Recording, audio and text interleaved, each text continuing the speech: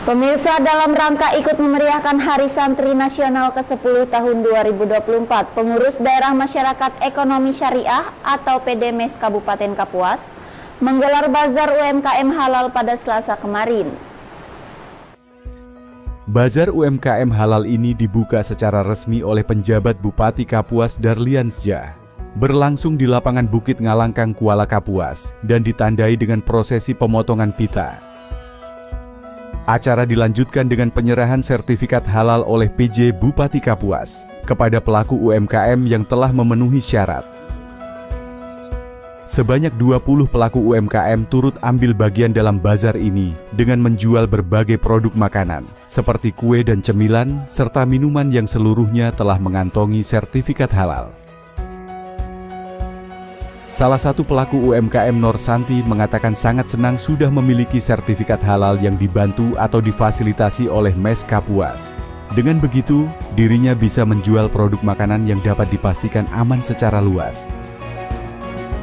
Ini produk dari kami yang bersertifikat halal, kacang sembunyi.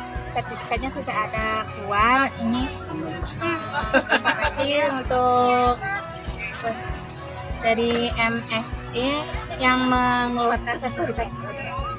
Sementara itu, Ketua Panitia Bazar UMKM Halal Suwarno Muriat menjelaskan, penyelenggaraan bazar ini bertujuan untuk mensosialisasikan produk-produk halal kepada masyarakat dan mendorong para pelaku UMKM agar memiliki sertifikat halal.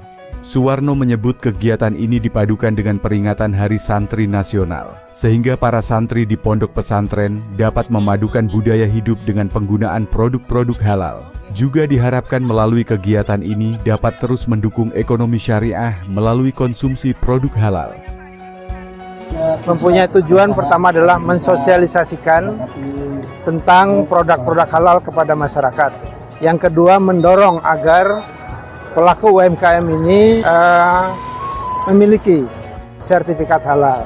Serta berikutnya kita menginginkan masyarakat mengetahui bahwa makanan yang kita konsumsi itu benar halal.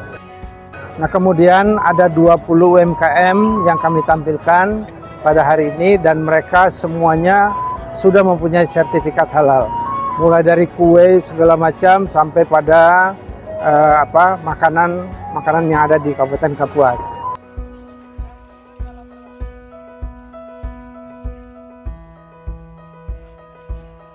Dari Kapuas, Kalimantan Tengah, Sri Hayati Dayak TV mengabarkan.